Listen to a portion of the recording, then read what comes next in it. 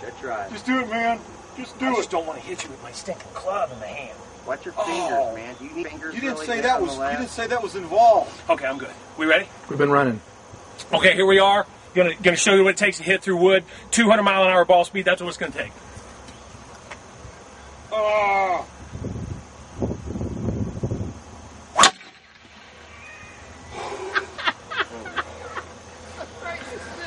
There's my boy.